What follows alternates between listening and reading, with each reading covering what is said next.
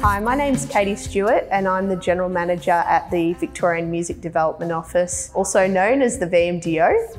VMDO works within the state of Victoria and also within the capital city of Melbourne. So we provide support to the Victorian and Melbourne music industry by offering a range of different programs. This includes professional development, training. We also create a range of resources for our industry and we also undertake research. One of the key things that we're looking to do is better connect the global music industry with Victoria and we've created a broad range of programs to support that.